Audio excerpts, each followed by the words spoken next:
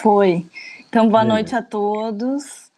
É com alegria que a gente vai hoje conversar juntos, aqui num contexto do, de PA1 da FAUFRJ, né? Onde a gente tem aqui uma integração de algumas turmas e uma agenda nesse período comum de pensar a água é, na nossa cidade, na concepção dos nossos projetos, na nossa vida, na nossa maneira de habitar a terra, diante dos problemas que a gente vem enfrentando é, de maneira bastante evidente, que se tratam das mudanças climáticas. Então, é com alegria que a gente convidou o FEFA do Fluxos Design Ecológico de São Paulo para nos uh, para conversarmos sobre a palestra Nós, a Cidade a Água, Dinâmica, Fluxos e Ritmo. O FEFA se apresenta, ele se apresenta do, de um modo original, eu vou ler aqui até para a gente se inspirar em outros jeitos de apresentação. Iniciei um caminho como arquiteto em 1996, fazendo reformas, projetando e executando as obras. Em 2008, me juntei à ONG PABIRU, trabalhos comunitários e ambientais com foco na habitação de interesse social. Me envolvi com obras de mutirão, projetos de reurbanização de favelas e trabalhos de apoio a movimentos sociais e também a pesquisa dos programas, programas habitacionais, crédito solidário e Minha Casa Minha Vida. Em 2013, vivi um contato arrebatador com as nascentes e os rios urbanos através do trabalho do Rio e Ruas. Lentamente, as águas urbanas vão me levando ao encontro da permacultura, da agrofloresta, da bioconstrução, das hortas urbanas, da recuperação de nascentes e da ocupação de espaços públicos pelas pessoas. Em 2017, participei de vários cursos de saneamento ecológico e captação de água da chuva com Guilherme Castanho. Transbordei. Não havia mais o que fazer a não ser me jogar no fluxo das águas. Cá estou. Então, com alegria, te passo a palavra. E Obrigado, conforme a gente combinou, meia uhum. hora eu te dou uma, um alô. Beleza. É, gente, é, boa tarde para vocês. Então, é, eu vou tentar fazer aqui, como o tempo para uma conversa dessa é curto, é, eu, eu vou apresentar, vou tentar jogar um pouco, misturar um pouco a minha trajetória com o que eu quero dizer sobre a água, né? Sobre como ela chegou até mim, como eu vejo e como eu hoje trabalho e tento é, tirar meu sustento pensando nela. né? Então, isso é uma, uma, uma apresentação, ela tem muitas imagens, como eu já falei, e vamos ver o que, que, que, que acontece. Mas é, o caminho é, são dois, na verdade, que eu gostaria de percorrer aqui.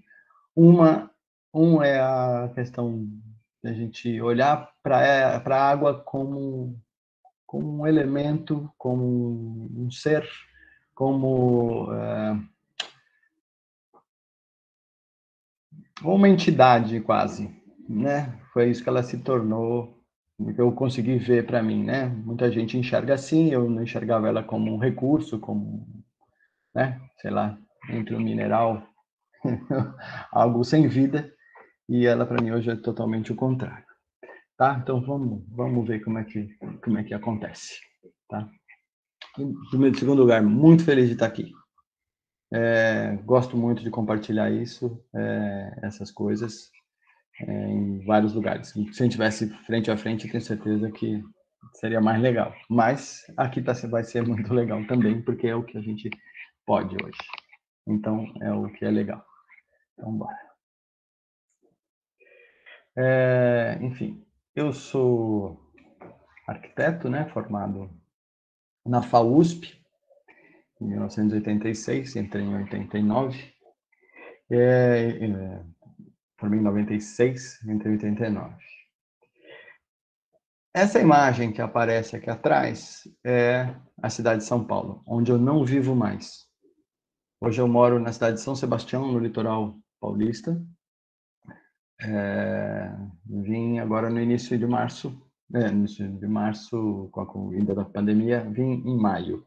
Né? Faz seis meses que eu me mudei é, por conta de muitas coisas, em função da própria pandemia, da questão do abalo nas questões do meu trabalho, e enfim, vim buscar um lugar um pouco com recursos onde eu pudesse ter de menos grana para viver, enfim, para poder me recompor.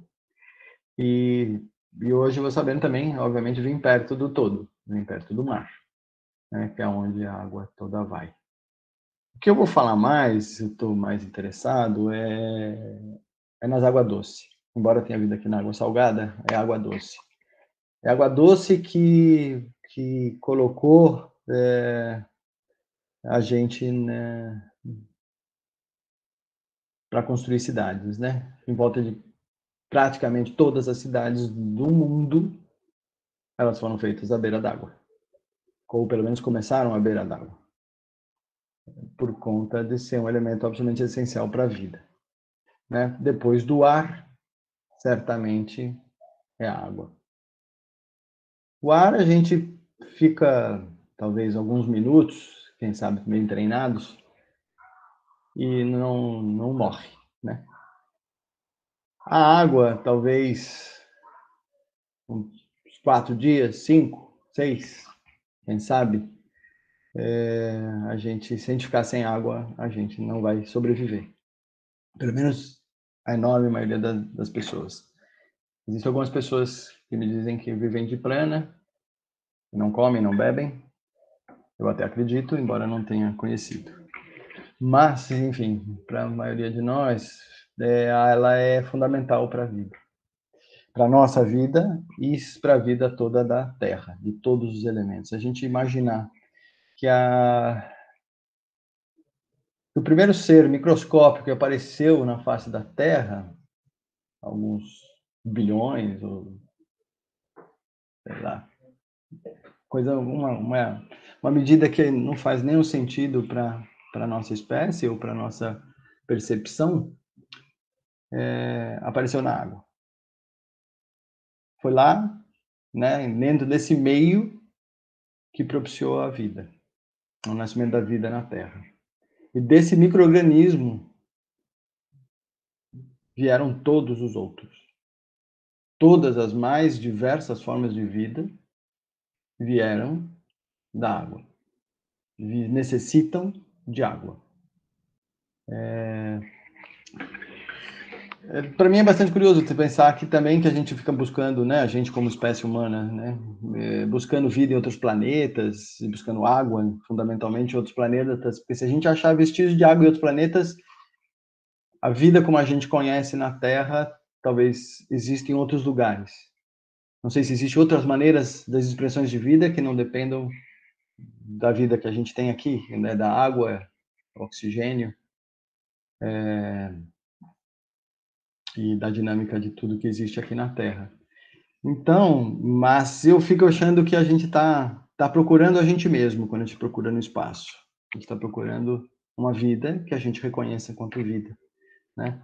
E, enfim, então, vamos lá. Essa imagem que está aqui é, é São Paulo, a cidade que eu nasci morei, hoje eu tenho 50 anos, é, e recém, só apenas recentemente mudei para São Sebastião, que continua sendo o estado de São Paulo, mas é uma cidade que eu vivi intensamente nos meus trabalhos. Eu percorri por conta de obras, do fazer, eu percorri muito as, as periferias, percorri os centros, os lugares uh, mais valorizados, os lugares mais esquecidos, né?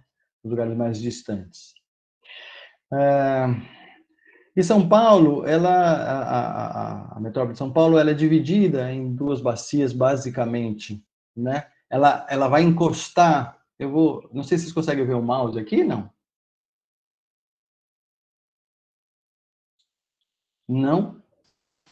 Eu não consigo ver o mouse. Ah. Não sei se os ah. outros conseguem. Uhum. Deixa eu pensar uma coisa aqui. É, às vezes aparece, às vezes aparece. Deixa eu fazer uma outra coisa aqui. Deixa eu trocar uma coisa aqui. Talvez consigo. Uhum. Tá.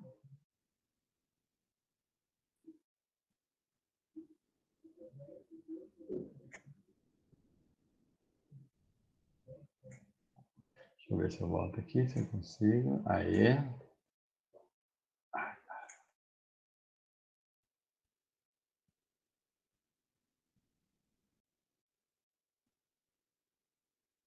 Agora,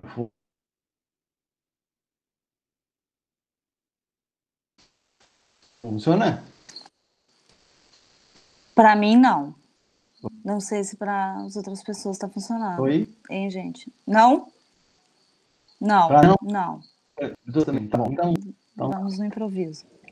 não. Então, então deu pra. Então vamos, eu vou, vou descrever aqui, tá bom? Vamos lá. É... Deixa eu fazer isso aqui. Isso. Então, São Paulo tem dois, dois, dois grandes rios. O rio Tietê. Então, você pegando a imagem no alto, da, da direita para a esquerda, você vai ver uma linha bastante forte. Esse, esse é o rio Tietê. O rio Tietê ele tem uma característica bem interessante que ele mora, ele, ele nasce perto da serra, A gente está conseguindo né? ver, Então ele sim. morre lá. É, tá aqui, ó. Vamos ver. Então ele nasce perto da serra, aqui, bem em Salesópolis. Ele está muito perto do mar. Só que ele vai correr milhares de quilômetros para o interior do estado, chegar até o Rio Paraná, que chega ao Rio Paraguai, que chega ao Rio da Prata, que deságua no mar.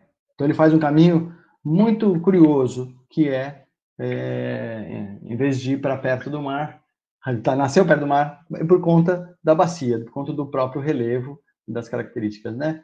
E, e, e por outro lado, aqui é, mais para o sul, onde vocês veem dois, duas manchas grandes, são duas represas importantes aqui de São Paulo, que é a Guarapiranga e a Billings, né? É, que tem o Rio Pinheiros. Então, São Paulo é dividido praticamente em duas bacias. Aqui vai para o Rio Pinheiros e aqui vai para o Rio Tietê. E o Rio Pinheiros cai no Rio Tietê. Então, é, nós, São Paulo está na bacia do Rio Tietê. É,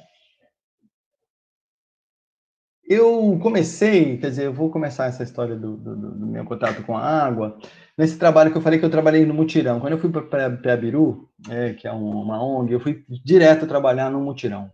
O mutirão é um sistema de construção de habitações é, de interesse social, ou habitações populares, que, que nasceu na, na gestão da Luiza Nundina, aqui em São Paulo.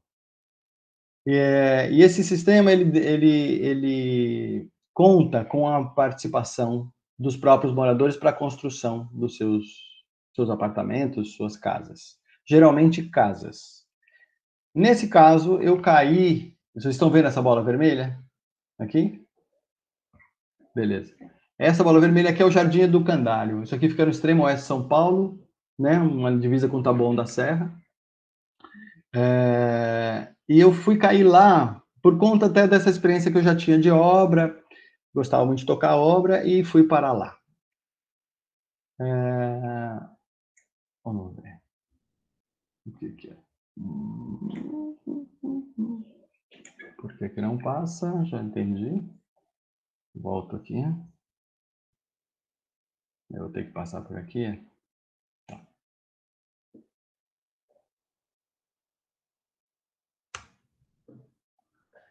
Então eu caí aqui. Quando eu cheguei, era mais ou menos assim que estava. Eu não acreditava que é, um grupo de 160 famílias, representados por cada praticamente 160 pessoas, cada família representada por uma pessoa, estava construindo três prédios de 10 andares em regime de mutirão.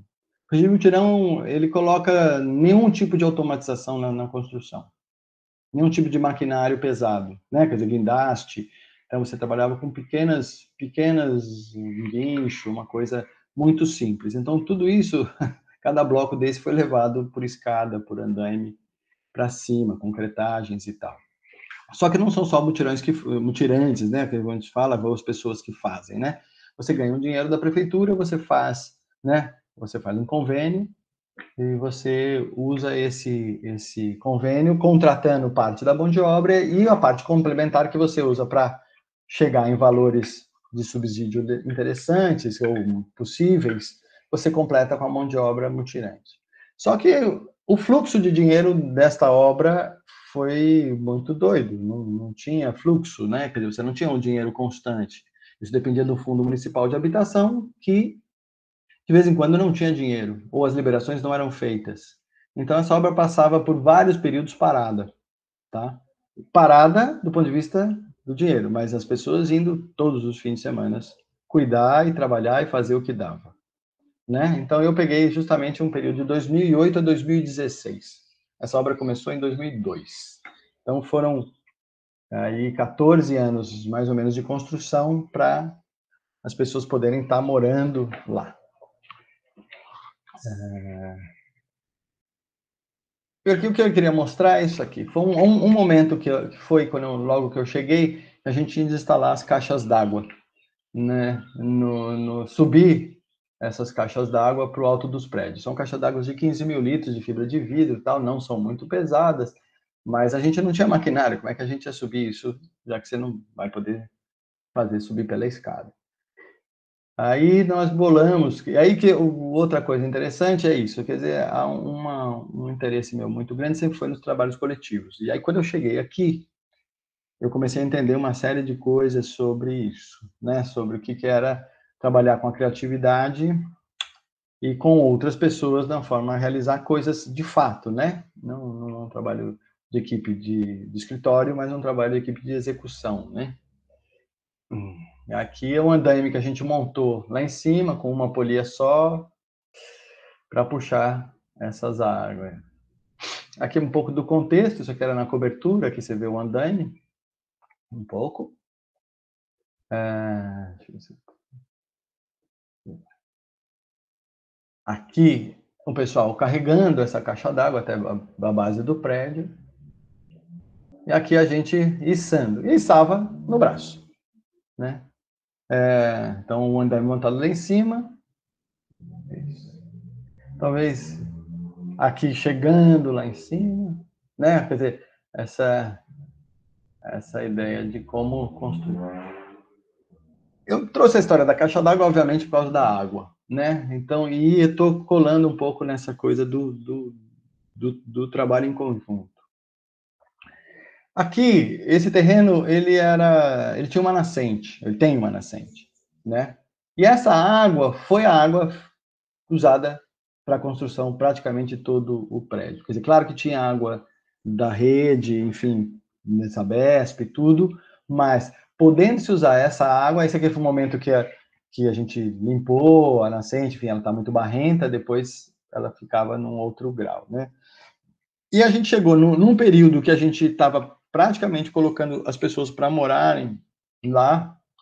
Né, algumas pessoas já estavam até ocupando de tamanho desespero que era a situação de ficar já com o apartamento quase pronto, com algumas coisas é, ainda por fazer, mas por conta de ameaças de invasão, um momento bem bastante turbulento em São Paulo, em outros lugares do Brasil, essa, né, 2014, 2015, e várias pessoas resolveram mudar do jeito que estava, mesmo sem as ligações efetivas de luz, água e gás, né? Então isso foi um para um pouco defender os prédios, para eventualmente alguma ocupação, alguma, né?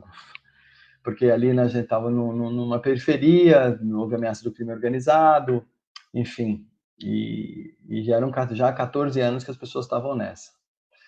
E aí, é, esta água, nós fizemos alguma, um, pedimos para a Sabesp fazer uma análise, que nunca, ela oficialmente nos, nos, informou, deixou uma boa qualidade e tal, mas nunca essas águas que a gente tem nas zonas urbanas, é, de lençol freático, quase sempre elas estão contaminadas, elas não são potáveis, né?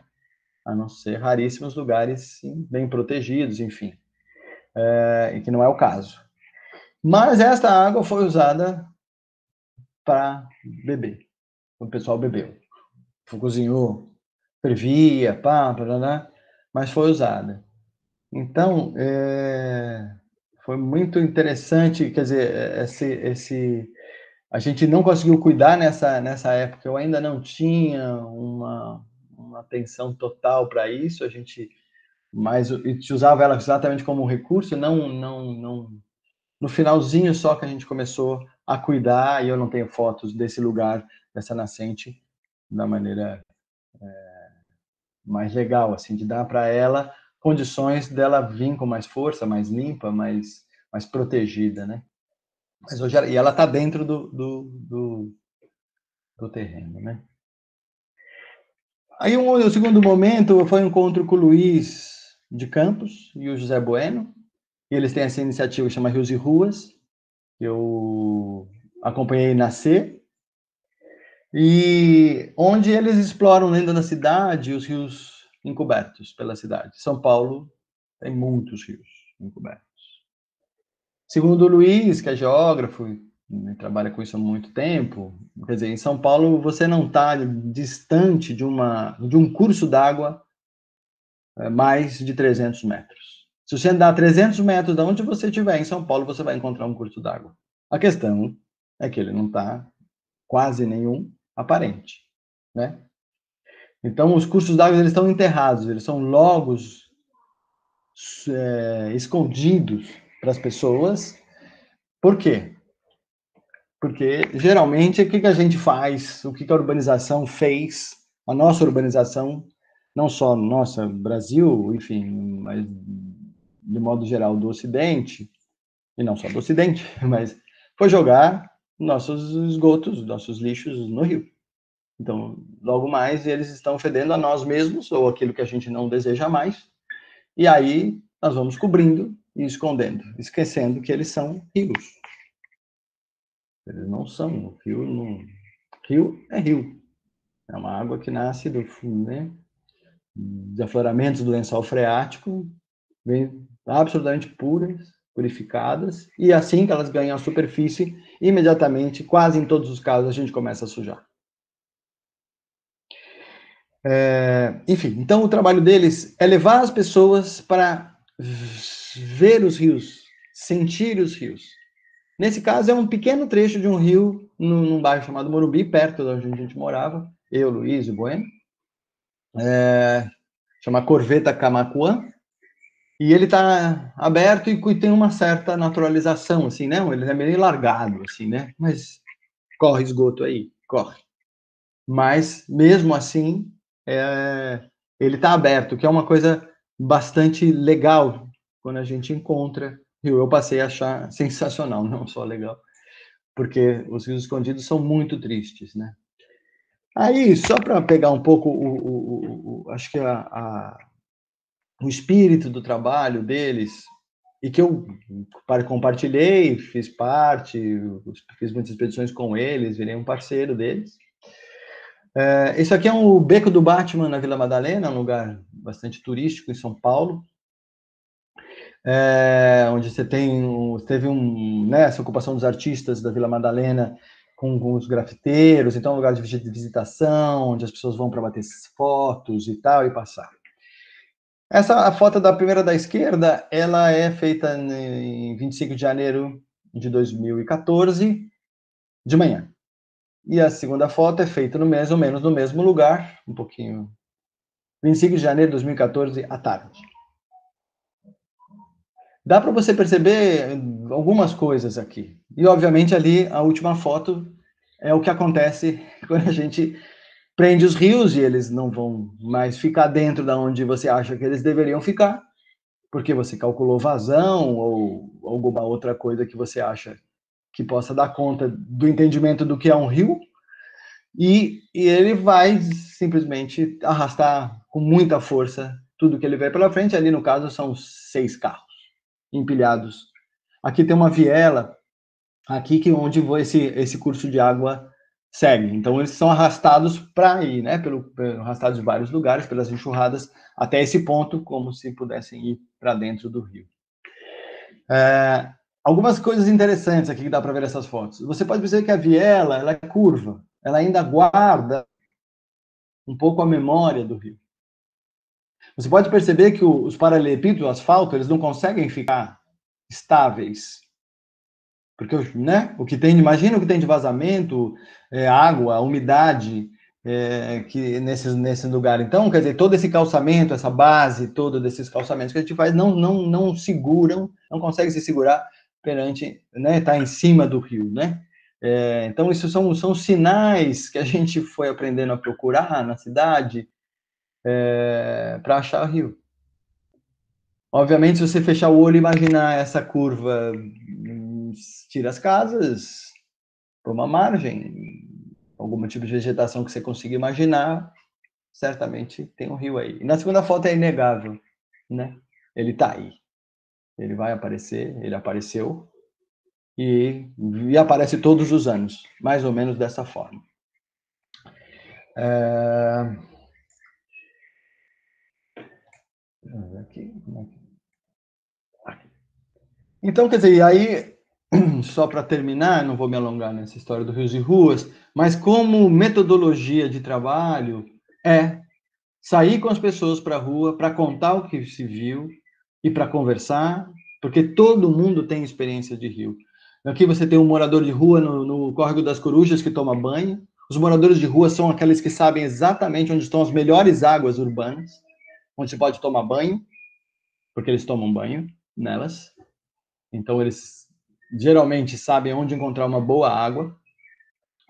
É, aqui à, à, esquerda, nessa foto da bicicleta, é, é o rio Saracura, no Bexiga, e ali tem um lavador de carros que estava lá 40 anos ele fazia um sistema todo de filtragem da água para lavar os táxis e os carros.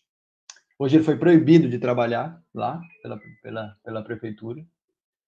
Ah, as fotos de casas com comportas, muito comum também, alguns, algumas casas que estão na beira dos rios, em ruas que são que eram rios e hoje viraram ruas, e, enfim, quando o rio sobe, elas têm que trabalhar com comportas para não, não, não deixar a água entrar. E essa coisa de conversar com os velhos, né? Com as pessoas que moraram numa outra cidade. Isso faz muito pouco tempo. Se eu tenho 50, em 1970, já é outra coisa a cidade. Se você imaginar um pouquinho antes, né? A idade do meu pai ou da minha mãe, que estão com 80 anos, é outra cidade ainda. Onde esses, esses córregos, onde, como era o lazer, como as pessoas brincavam, o que elas faziam. E você sai conversando sobre rio, dizendo que está procurando rio na cidade. As, algumas pessoas ficam muito interessadas.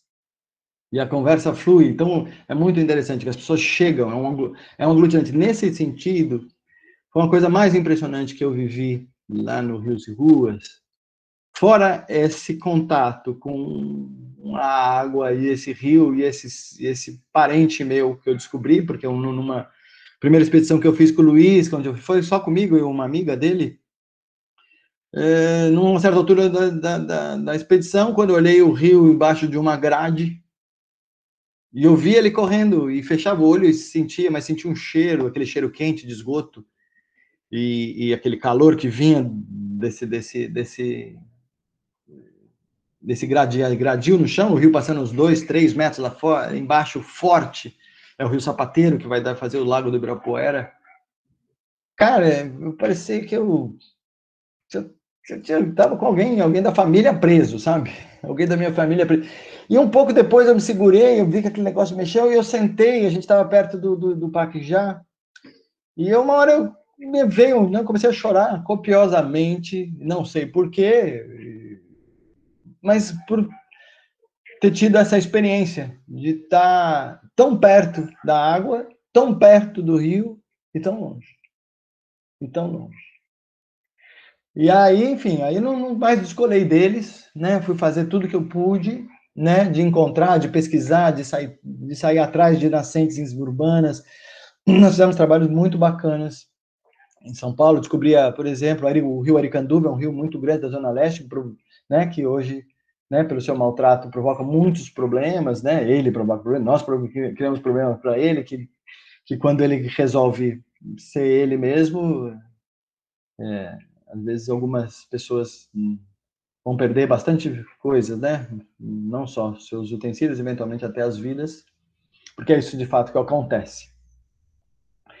E, enfim, e aí nós, aqui, esse trabalho é levar as pessoas para a rua para contar essa história sensibilizar as pessoas em relação à existência dos rios, à existência dessa água em todo lugar. E aí, quando você vai, no meio de 2014, no meio de uma crise de abastecimento enorme na cidade de São Paulo, que o Rio também viveu, e você vê que você está cheio de água em todos os lugares você não tem água na sua torneira, tem uma coisa muito esquisita. Muito esquisita. É, o que a gente escolheu como cidade, como modelos de gestão, está absolutamente em colapso. Está absolutamente é, apodrecido. Só que isso é uma construção social muito longa, muito vem de muito tempo. No nosso caso, vai mais especificamente, vai vem, vem vai, vai colocado a nossa proclamação da República, né, onde você tem a, montagem do Estado moderno, assim, ao, ao, ao, como são os Estados europeus, né, americanos, né. Isso aconteceu para a gente, a gente montou isso, a gente montou uma estrutura de Estado que funciona de uma maneira muito parecida em todos os lugares, né? E a gente foi percebendo, as pessoas foram percebendo, e é isso que importa. As pessoas foram percebendo que isso não funciona mais. Um sistema da Cantareira que abastece praticamente 12 milhões de pessoas, se há um colapso nele, como houve, 12 milhões de pessoas estão sem água, ou revezando água sabe lá em que turnos. Dia sim, dia não, dois dias sim, dia não, dependendo do lugar, lugares mais centralizados, de melhor poder aquisitivo, sendo melhor abastecidos, periferias pior abastecidas. Se você imaginar que em São Paulo tem tanto rio, por que você não podia imaginar que pudesse ter algumas centenas de é, de, de, de, de, unidades de abastecimento na cidade. Você imaginar isso num sistema só descentralizado, se há um colapso em uma, você tem os outros 99. Né? Quer dizer, não que a cantareira não seja importante, não que a cantareira não seja fundamental, não é nada disso. É só que a gente, é, é, a gente chegou num ponto onde ficou muito claro, e a água veio de novo mostrar isso, que não faz nenhum sentido. Ela não tem, ela não é centralizada. Ela é descentralizada. Ela é distribuída. Quer dizer, que é mais do que centralizado. Descentralizado ainda é centralizado. Já é, mas já é um movimento em direção à distribuição. Né? Bom, voltando aqui para São Paulo. Com essa coisa do Rios de Ruas... É, Cefa, com licença, meia hora. Meia... Uh, tá bom. Bora? Vamos lá. Duas coisas dos rios e ruas. A gente foi fazer um cuidado de nascente. Eu vou voltar aqui de novo. Deixa eu ver se eu volto, se eu consigo voltar. Se eu volto. Aqui. Essa imagem aqui, ó, é o São Paulo desenhada pelo Aziz Absaber, é um geógrafo. Os rios de São Paulo é, é a mesma imagem, tá vendo? O Rio Tietê, Rio Pinheiros, só que sem a cidade. Ele montou todas as até todas, as maiores bacias. Porque se fosse encher esse desenho de rio, não ia ter espaço em branco. Quer dizer, na graficamente a gente não ia conseguir, não ia conseguir representar, né? Então, essa é a São Paulo que eu aprendi a ver um pouco mais. Aqui é o Quiririm, isso aqui no Butantã. 200 metros da casa do Zé, achou uma nascente. Aí a gente foi lá e foi cuidar dela. Chamamos pessoas, chamamos amigos. Isso aqui é um, um cartaz que a gente fez né, em 2014 para chamar para uma, uma, um mutirão e a gente passou a fazer durante esses anos todo o trabalho de, de, de, de cuidado dessa nascente. Isso aqui era um depósito de lixo, tá? Moto, casas, construção, então a gente foi tirando e deixando, enfim, acreditando, é, né? Tinha de tudo aí. Né? É uma coisa impressionante que vocês podem perceber. Onde tiver algum córrego, um terreno badio, tiver água, tem lixo. Uma pergunta para a gente pensar Por quê?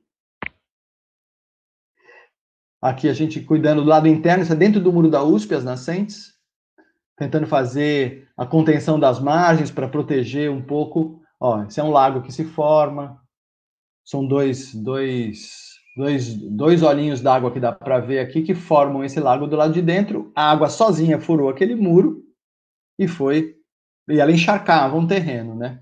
Aí o que, que nós fizemos? Nós juntamos as pessoas e as pessoas resolveram fazer um rio. Fazer um rio, fazer um lago, né? Essa é a natureza da água. A água, a água se aglutina, ela flui, ela corre, ela quer correr. Na hora que você deixa ela encharcar e você deixa problemas de mosquito, dengue, etc., que a gente conhece muito bem. Então, é, esse foi um pouco do resultado desse dia de trabalho de umas 50 pessoas, sem nenhum tipo de direção. Né? Quer dizer, todo mundo trazendo seus conhecimentos de como queria fazer, e se juntando e fazendo, e isso simplesmente aconteceu. Isso aqui um tempinho depois, como foi ficando esse lago. Depois apareceram as plantas aquáticas, eles gostam muito de água, nesse caso são os aguapés, os, os, os, os os pinheirinhos d'água, do rabo de barposa, lentilha d'água, né, lírio do brejo, taiobas, que são plantas. Flor, essa aqui é a flor do, do aguapé. O lago, a gente eh, imediatamente colocou peixe, depois alguns peixinhos e alguns crustáceos, uns pitus, para comer a larva da dengue. Então, os lagos numa cidade com peixes são armadilhas para o mosquito da dengue. Aqui em São Sebastião, eles jogam veneno no bueiros ou no ar. É uma pequena diferença de modo de você tratar questões como essa, né? Bom, voltamos a São Paulo. De novo. Eu queria que vocês prestassem atenção um pouco nessas imagens, nessa, nessa, nessa um pouco nessa. Eu vou voltar aqui a forma disso. Na, na... É. Nessa maneira um pouco fractal desse, dessa, desse, de, dessa estrutura se repetir. Eu vou passar uma série de imagens aqui e vocês para vocês verem.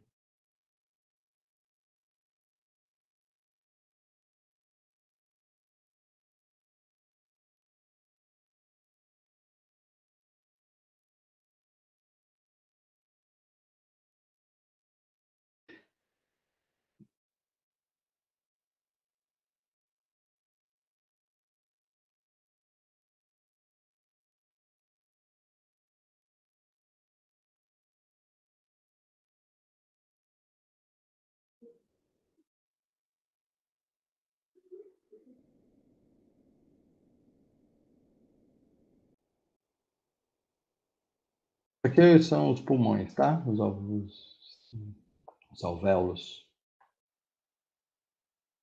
Isso aqui é a estrutura óssea, o nosso osso.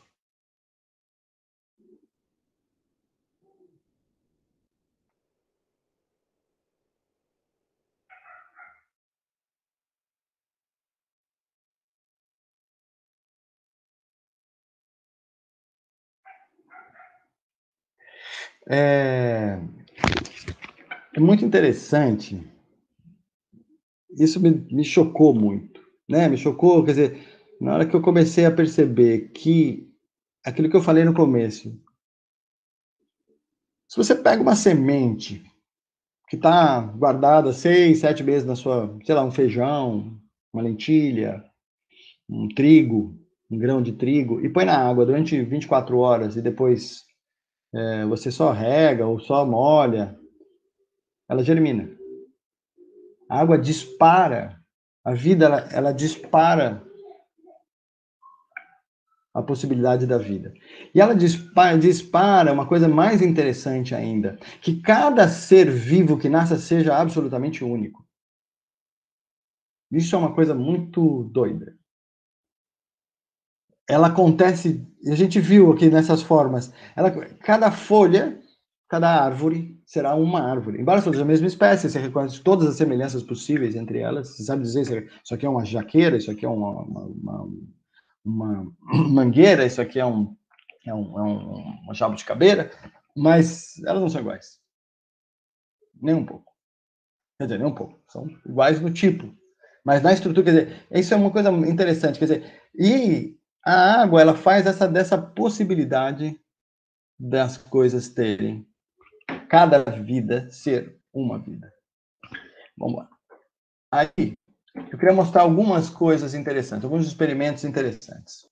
Falando de memória, da água como elemento, o que, o que, ela, o que ela traz como elemento, elas são características que ela carrega entre elas. Esse aqui é o Masaru Emoto, ele é um, um cientista japonês, hoje escritor, que ele fotografa aglomerados de moléculas de água congeladas.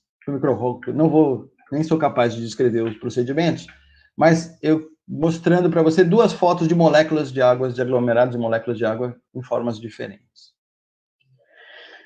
Ele percebeu que a água é absolutamente sensível a intenções, a desejos, a manifestações. Então, ele tocou a música do Mozart, deu aquele cristal. Pegou, tocou a música, pegou a água, pegou uma gota, congelou. Tocou Imagine do John Lennon. Ao dizer amor, ou desejar amor, uh, ao pegar a água da fonte de Fujihara, antes, ele, ele, antes de uma oração que ele faz, e de água depois que ele faz essa oração. Você dizer que eu mato você, agradecer, a paz, a estrutura. O mais interessante, mais do que a gente né, falar, ah, isso aqui é bom, isso aqui é ruim, é da onde vai para onde vai. Quer dizer, você tem, ela tem a possibilidade de se organizar de uma forma absolutamente harmônica, ou, ou você pode dizer assim, para tirar da, do belo, quer dizer, onde você consegue uma estrutura harmônica para uma estrutura desarmônica. Isso, essa oscilação, essa possibilidade, um elemento que vai de um lugar para outro, né? Na sua característica, você imagina, então, que o que é beber uma água de um com uma, com uma coisa ou com outra, o que é tomar um banho, o que é isso? Esses dois aqui, o Theodor Schwenk e a Elvira Brast, eles também fazem experimentos pingando e fotografando a água e vendo seus fluxos, né?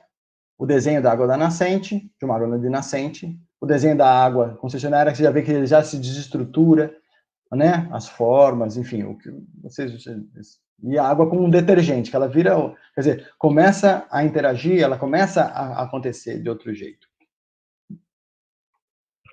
Esse aqui é outro experimento desses dois, Regine Henschel e Bernard Kroplin, que eles pegam um experimento que põem pessoas sem falar nada, que pegam conta-gotas, põem num, naqueles vidrinhos, né, aqueles, não sei de microscópio, e fotografam a mesma água, passando por mãos diferentes, são fotografadas e dão essas fotos completamente diferentes.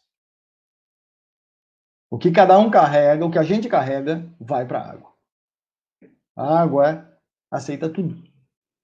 Ela talvez seja, é, quer dizer, é isso, né? Talvez as coisas mais generosas que a gente pode, possa conhecer, porque ela aceita tudo. E, ela tem uma característica impressionante de se limpar. O Rio Tietê sai daqui de São Paulo, num estado que a 200 quilômetros ele está limpo. Como é que isso acontece? Como isso é possível? Os córregos né, os, né, de favelas, ou também acontece isso, a gente quase não percebe, mas isso, a capacidade daquele capim que nasce, o que acontece ali naquele fluxo de água, ela, do jeito que ela, ela sai, ela chega melhor do que ela começa. Talvez muito, ainda muito aquém do que a gente gostaria, mas isso acontece. Bom, e esse aqui é o John Wilkes e o Paul Van Dyke, Van Dyke é, que vão trabalhar uma coisa maravilhosa que é exatamente a questão da dinâmica da água. Fazer experimentos onde eles vão mostrar. É, eu vou descrever rapidamente esse elemento do meio aqui.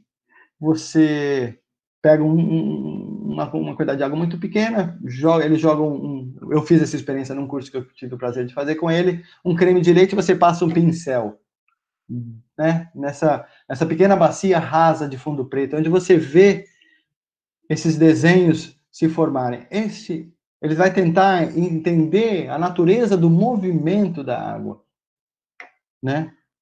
E aí eles vão criar as flow forms. As flow forms são, são imaginações racionais, humanas, essas formas da natureza, mas tentando compreender e reproduzir um pouco a dinâmica da água na natureza. Só que com isso dando vitalidade, trazendo outro, outros fluxos. Então ele vai criando formas e coisas incríveis.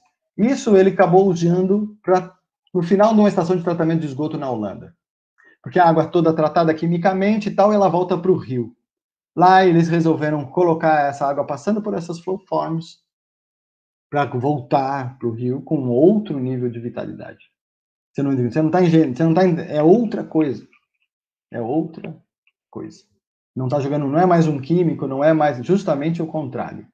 É a partir do seu movimento, a partir do seu fluxo, a partir do seu ritmo, que a água se limpa, que ela se transforma, se ela se regenera, que ela volta a ser outra coisa, volta a ser uma água, a água que a gente que começa a circular toda vez, né? É, bom, de novo, voltando para as cidades, aqui. Vamos passar bem rápido. Isso aqui é Granada, na Espanha. É uma cidade que foi ocupada pelos, pelos árabes, né? Um bom tempo. E os povos árabes eram muito legais com a água, porque acho que essa coisa de viver no deserto e saber o valor que a água tem, eles, é, isso aqui é Alhambra, é um, um,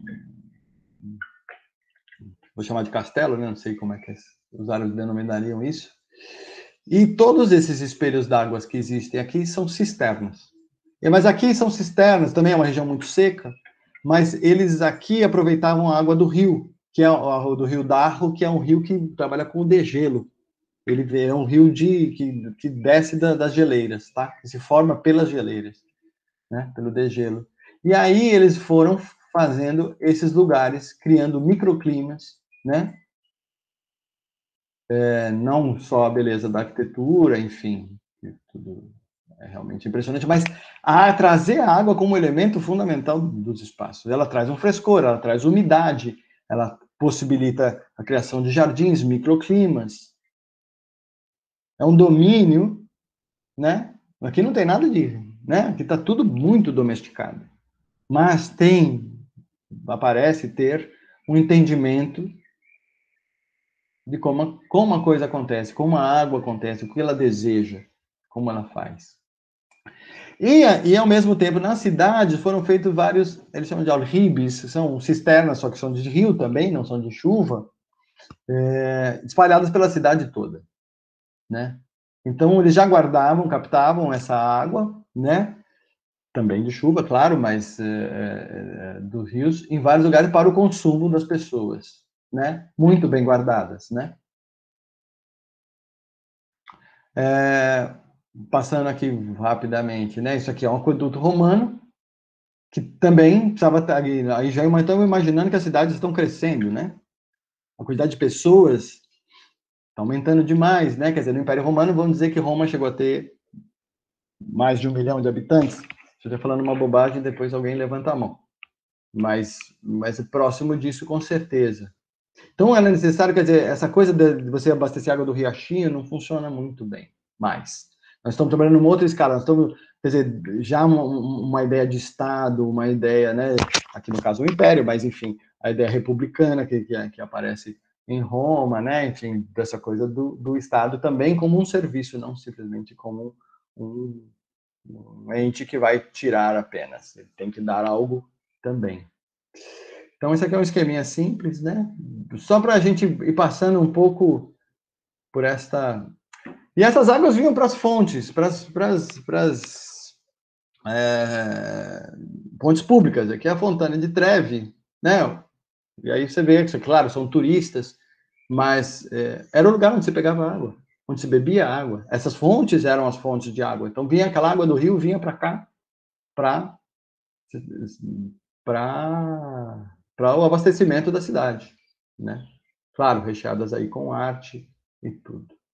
E não é à toa que perto de água tem gente. Água boa, então. Né? Aqui as termas romanas. As termas, né, essa terma de Caracala, ela tinha um fluxo de, isso, próximo de um milhão de pessoas, de 500 mil pessoas é, tomando banho, porque os banhos eram públicos, né? Então eles tinham de manipular a água de um jeito com piscinas, com banhos quentes, enfim, para uma, uma cidade inteira, né? Isso aqui, é, agora vendo aqui para o Brasil, era a forma como se abastecia as cidades. O Rio de Janeiro era muito abastecido assim, Campinas, foi uma pesquisa que eu fiz com Rios e Ruas lá em Campinas, os aguateiros, eles iam buscar água nas fontes e traziam para as pessoas e vendiam as águas, né, nas cidades, né? Esse aqui já é um outro, ó, uma foto, né, do começo do século. As, aí, as, outro momento, quando aparecem os chafarizes, as águas dos rios são canalizadas para os chafarizes, enfim. Aí os escravos vinham buscar as águas para abastecer as casas, né? As pessoas todas, né? Os escravos, fundamentalmente, né? Aqui, ó, um cara em Campinas, trazendo uma ânfora aqui no, no lombo ali, ali fora tem um, um, um chafariz. Esse aqui é um chafariz já, já de, de embelezamento e tal. Bom, é...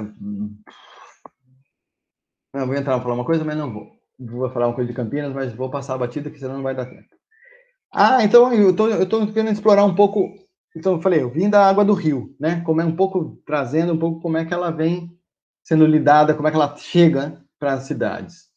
Outra possibilidade de obtenção de água doce é do fundo da terra, através dos poços. Outra coisa muito comum no interior, muito comum em vários lugares no interior, quer dizer, muito, muito pouco, várias casas e lugares em São Paulo, no Rio de Janeiro, tinham, né? E aí você tem dois poços, poço raso, que vai pegar esse lençol freático mais alto, e o poço profundo, que vai pegar esse lençol freático mais, que são esses poços artesianos, né? Que hoje, com as crises de, de abastecimento, estão sendo muito, muito construídos.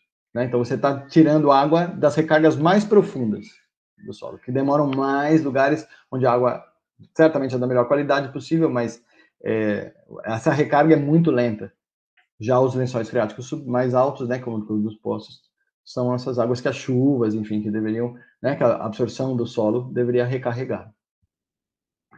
É, aí, vamos lá, vamos pegar água da chuva. Isso aqui é, é puxa, ah, é uma ruína no, Israel, onde é, eles tinham 12 cisternas de 40 metros cúbicos, assim, no deserto, né? Para manter. Isso aqui, nós estamos falando 70 depois de Cristo, um pouco, ou talvez um pouco antes, né? Estamos ali no, no zero, quase, na contagem. Aqui são ilustrações, né, no, no, nos castelos, então, já a questão da cisterna como uso de abastecimento de água. A cisterna do programa Cisterna, né? Um milhão de cisternas, maneiras de construir, essa aqui de ferro cimento, né? As mini cisternas, né? O Edson Urbano e o Gui Castanha, aqui da Fluxos, né? Ele, eles, o Edson Urbano principalmente vem desenvolvendo sistemas no, no sentido de dar uma tecnologia de fato de baixo custo para né, você resolver certas questões, assim, em pequenas situações já é muito útil, né? Você ter uma, uma boa captação de água de chuva. Aí indústrias que fazem cisternas e tal, né, de plástico. Existe um pessoal que pesquisou, né, de essa coisa de lugares muito secos, como desertos, né, é, da onde vem a água, porque aí você não tem nem água do rio, você não tem a chuva, você não tem. E eles começaram a precisar de trazer e captar água da névoa, porque no, no, geralmente na transição entre o dia e a noite, é, você tem uma névoa que, você, que, ela, que ela é úmida. E nos sistemas, esse aqui é um, esse aqui é um dos suecos, né, isso aqui é no deserto do Atacama, onde eles começaram a recolher. Então, nessas telas, a névoa condensa, cai em umas calhas que eles reservam nessas caixas d'água. Aqui, isso aqui na África, é, se não me engano, Etiópia, são os italianos que desenvolveram também algo muito parecido, acho que o clima parecido, que é essa Warka Tower, que são essas mesmas, essas mesmas telas com outras formas que fazem a condensação da água e você vai juntando e podendo fazer agricultura e podendo plantar, né? Olha, aqui ao pé dela você tem um, uma pequena cisterna e é isso que você vai fazendo.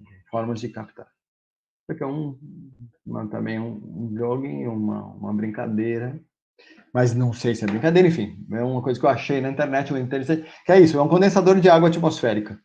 Então, você pegar a água, quer dizer, usando talvez um princípio muito parecido.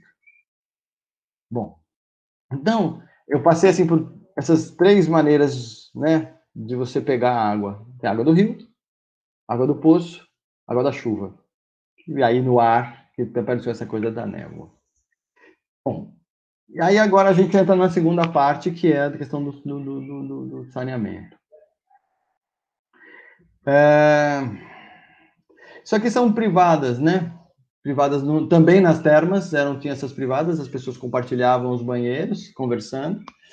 É, você tinha um, um, um, pequeno cursinho de água, né? Um canal de água embaixo, onde o cocô caía, já ia descendo e embora, ia para o rio, né? Para um rio ou para algum lugar. E aqui as escovas eram molhadas nesses, nesses tanques na frente, e você limpava a sua mão aqui também na questão medieval, né, como é que você podia o guardar ou cagar simplesmente para fora dos castelos, né?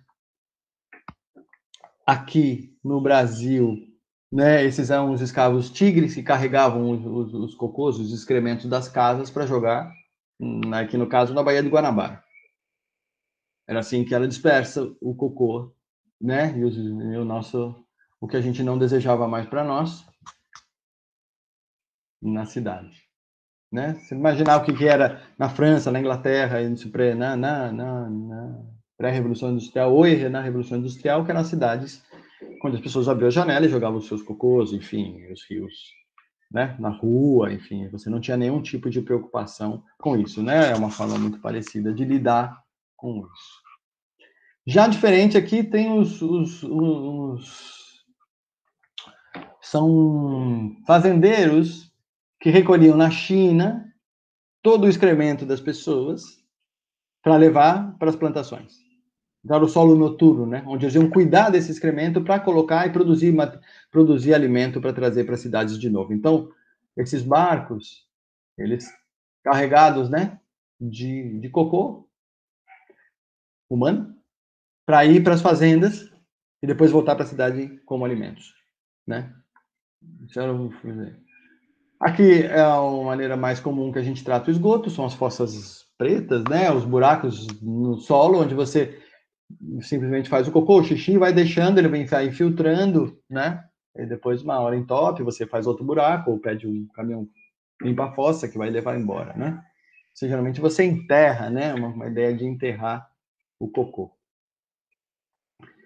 E isso vai passando por um, uma evolução aqui das das privadas, da forma de você. Porque aí aparece a coisa mais interessante, né? Você começa a usar água, né? Como é que você faz para isso? Até lá a gente não estava. De repente tem um, tem um inglês ali que resolve. Porque é isso, a água limpa, né? A água limpa. Ela, ela dá uma sensação imediata de, de, de, de, de higiene, de limpeza, né? Então, é, trazer a água para limpar o cocô, para dissolver, enfim, os pensamentos que estão atrás da, da ideia da, dessa privada que a gente inventou. Né? Ao contrário, quer dizer, ainda voltando para trás, tem uma turma, um, se faz um banheiro seco, que é onde você composta esse, você faz, cria condições ideais para que esse cocô, né, e o xixi, eventualmente, às vezes você separa, às vezes você não separa, depende de, de muitas formas de você fazer, é, de você compostar isso, isso virar, de fato, um adubo. Então, tem começa a aparecer um, uma série de técnicas, tem ventilação, câmeras que tomam sol, que você tira ou você descansa o composto. Então, você tem muitas formas de fazer isso funcionar, né? Então, você, a, a, geralmente, você sempre agrega matéria seca, né? É, para tirar cheiro, tirar mosca tal, e você vai é, compostando isso. É, o, o, primeiro estágio que a gente, uma coisa muito comum que a gente usa é uma fossa séptica, né, que é um tanque justamente para decantação de lodo, para que a água retenha um pouco do tempo, para que a água aí ela saia um pouco melhor do que ela entrou, né? Do que é, isso é isso é uma quase uma obrigatoriedade em quase todo o sistema urbano você ter uma fossa séptica logo na saída do seu esgoto, né? Já no meio rural já são outras coisas, né? Mas é, hoje se percebe que esse, esse, esse é, um, um, um, é um estágio importante para o tratamento de esgoto, quase em qualquer circunstância. É esse primeiro momento onde ele, ele vai continuar com as bactérias anaeróbicas, são essas bactérias que estão, já estão no nosso estômago, é, no nosso intestino, que estão digerindo esse, esse, esses alimentos para nós, é, continue a fazer o seu, a, a, seu, seu papel, né? Um pouco fora do nosso corpo, né? Aí depois disso, você tem que elas fazem isso até um, até um estágio, depois para você continuar fazendo esse tratamento, você tem que pensar em outras formas, né? É, de, de, de, de, decantação e de consumição desse, dessa matéria orgânica, né? Ah, isso aqui é uma, uma técnica interessante, que é um vermifiltro, que é onde você é, pega as águas negras, que são basicamente só de, de, de banheiros, né, de, de, privadas, e você vai colocar minhocas para comer. Então, você vai produzir, de fato, um composto com ela, né? Então, você vai usar um, uma caixa, né, com muita palha, com muita serragem, muita matéria seca, no fundo uma filtragem com pedras e tal. Então, logo que você dá descarga, muito rapidamente a, a água já é separada do cocô. E aí o cocô fica ali em cima, vai se virar alimento para essas minhocas, geralmente as californianas, que gostam muito de matéria fresca, né? E a, essa água já vai passar filtrando na palha, filtrando na pedra, e ela pode ser encaminhada eventualmente até para uma infiltração ou para uma outra para um outro estágio simples de, mas então você não deixa, ao contrário da, da, da fossa cética, logo você separa, né, o, o, cocô da água, porque essa é a questão, né, a água, ela, como ela, ela é um ser que que vai acolher tudo, ela vai acolher. Então, ela vai diluir, ela vai, ela vai é, é, incorporar, né, essa matéria toda. Então, você aí é uma ideia muito interessante você logo separar para fazer a utilização da água de outra forma. Outro é um biodigestor. Biodigestor você começa a produzir energia a partir do cocô, a partir dos alimentos, né? A fermentação que está acontecendo, que é a fermentação que nos faz fazer pums e peidos, é, vai acontecer também nos biodigestores, né? Essas bactérias, elas promovem é, a, a, liberação desse gás metano, e você pode usar esse gás metano é, para abastecer um fogão, uma boca de fogão, enfim, você consegue, uma família de quatro pessoas, cinco pessoas, consegue ter um biodigestor, consegue ter duas horas, talvez, de, de gás por dia num sistema desse, né? Então, você vai trabalhar é, não só a, a, questão dos nutrientes, mas a energia produzida por ele. É, esse aqui é um, um, um, tanque de evapotranspiração, é uma forma, é uma espécie de fossa verde, onde você vai, é, é, é uma fossa, um lugar também isolado, você não, não, não vai trocar a água com o ambiente, mas você vai tentar separar os sólidos dos líquidos, né, e plantar em cima, né, então você vai jogar essa água com o cocô dentro desse desse, dessa câmara de pneus, de, de tijolos, de blocos, é, cilindros de concreto, qualquer coisa que você queira, e essa água vai se separar. E quem vai, vai puxar essa água para cima vão ser as plantas, são as bananeiras, são as plantas que gostam muito de água. Então elas vão vão evapotranspirar isso para a atmosfera, essa água. Então a ideia é tirar. Então você vai ficar sempre com essa com só com a parte sólida mesmo, né? Do, do, do, do, da matéria orgânica, do cocô, né? Então, mas assim, tem uma técnica muito, muito, é muito preciso, tem que fazer isso de uma maneira muito, muito bem feita, porque são técnicas que exigem uma execução muito primorosa, assim, porque senão, literalmente, elas não dão certo, né? Opa, voltei para frente. Aqui é o ciclo de bananeira, que é um, também um estágio para algum tratamento de água. Geralmente, quando você faz um tratamento já num, num, num, numa TEVAP, é, num, num tanque séptico, é, no biodigestor, você joga, não pode jogar no ciclo de bananeira, que você, de novo, vai, vai alimentar outro ciclo de natural com, com fertilizações, né? Ainda a água carrega matéria orgânica, né? Você vai trazer muita água que as bananeiras e outras essas taiobas e plantas adoram, né? E aí você vai deixar essa água infiltrar no solo uma qualidade já muito melhor, porque toda etapa, todas as raízes, todo o solo, tudo que vai acontecendo, todas as bactérias vão purificando essa água. né? Então a ideia é você desses desses sistemas ao mais chamar é, que, baseados em, em, em, ciclos vitais, assim, é isso. Você retardar o, a volta da água para o rio, para o solo, passando por estágios, por várias, várias, vários momentos. Você tem um outro que são sistemas alagados construídos, que você vai usar plantas aquáticas, que elas vão ter um poder alucinante para digerir coisas muito difíceis, como sabão, fósforo, é, benzenos, cadeias muito pesadas, que se permanecem muito nos nossos sistemas, né?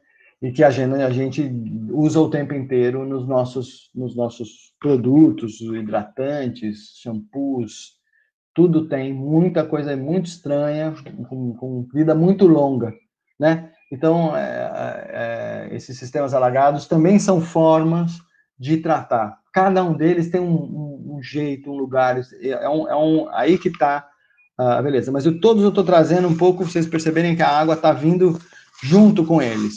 Todos eles, a água está vindo junto. Vou sempre voltando, vamos para frente, que o tempo já deve estar tá acabando, né? Assim, é que acabou. Já, já, mas estou deixando que você está já correndo, que eu estou vendo, né? Estou vendo. Eu vou passar esses, passar esse.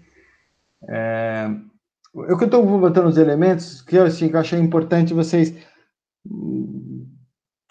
tem algum repertório. Talvez vocês estejam falando completamente trivial para muitos de vocês. Talvez não. Então, é, vou seguir. Acho um que não. Acho que não. Acho que não é trivial. Tá, legal. Então, ó, os jardins de chuva são outro. Agora, saindo um pouco da história dos tratamentos de esgoto e tal, tem, volto, vou voltar um pouco para as questões das cidades, né? Questões de rios e drenagem, né? Que a gente chama de drenagem. Isso aqui é uma ideia muito interessante. São jardins de chuva. São lugares onde a chuva, em vez de correr totalmente no seco, você vai jogar ela para pequenos jardins que vão absorver essa água, filtrar essa água e vão devolver elas de novo, porque eles têm uma capacidade. E se você imaginar esse sistema de jardins, que todas as áreas de permeabilidade da, da, da cidade, você poderia estar é, indo na direção de diminuir muitos problemas referentes aos alagamentos e às enchentes das cidades.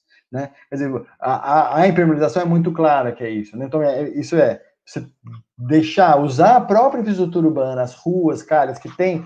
Então, você vai abrir, vai roubar espaço das calçadas, vai roubar espaços né, das ruas para a implantação de jardins que vão absorver essa água, não tem capacidade de resolver tudo, porque imagina uma chuva forte, isso aqui ele alaga, ele, ele vira o que ele é mesmo, mas durante um pequeno tempo ele suportou. Imaginar isso num sistema distribuído ou né, agregado muitas vezes por vários deles, isso seria uma coisa, quer dizer, são diversas formas de fazer, né? Esse aqui é um amigo nosso, o Fernando Sacioto, que está fazendo isso é, no, no, na Vila Olímpia, junto com a subprefeitura. Né? Ele e o Nick Sabe, outro, outro amigo também. Aí, agora... Ah, isso aqui é muito interessante, né? Quer dizer, isso aqui é uma... Infelizmente, para nós é até comum, né? A gente vê uma coisa dessa. Isso aqui, é, acho que é Singapura. E isso aqui que eles transformaram esse lugar. E eu quero te mostrar uma coisa interessante, que é essa ilha. São, de novo, as plantas fazendo, quer dizer, criando todo um, um, sistema vivo, ajudando a criar um sistema vivo, que a água, né, para a água e com a água, né, para transformar um lugar isso, né? Então, são, esse aqui é um, é um, é um trabalho do, do Água V, do Léo Thanos, que ele fez no, no, no Parque Burle Marx, que era um, um, um, lago que já estava completamente tomado pelas águas, olha a cor da água, e ele vai implantar algumas ilhas flutuantes, e hoje elas têm até com bananeira, dando banana no meio do lago. Então, ilhas montadas com garrafa PET, telas, e depois é, palhas, troncos, enfim. É, as técnicas são muito interessantes, né? Bom, e agora só para fechar, assim, tentar também ser rápido, porque a ideia nem explicar nenhum tipo de projeto.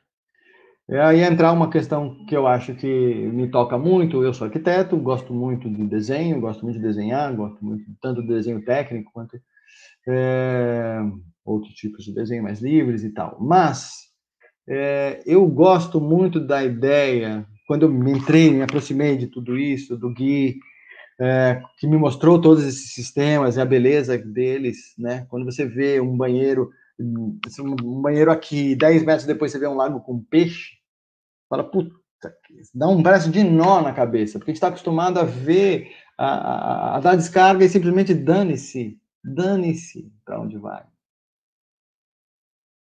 Isso é muito difícil, porque na verdade não é que você reverte, você fala assim, não, eu sei para onde vai, você, na verdade, você já está tomando conta. E tomar conta é uma espécie de responsabilidade. Quem, e, e puta, a gente não está afim. Como sociedade, eu não estou falando de ninguém, tá? Como sociedade, a gente não está afim ainda, não caiu a ficha de verdade que a gente tem que ter. E é isso, como é que nós vamos fazer? Mas para isso, quer dizer, eu acho que a gente tem uma ferramenta, como arquitetos, né? Por mais que a gente seja um pouco deformado durante a formação que as faculdades nos dão, é, as ferramentas são muito bonitas, né? Todos esses sistemas de tratamento de esgoto, de captação de água, são ferramentas.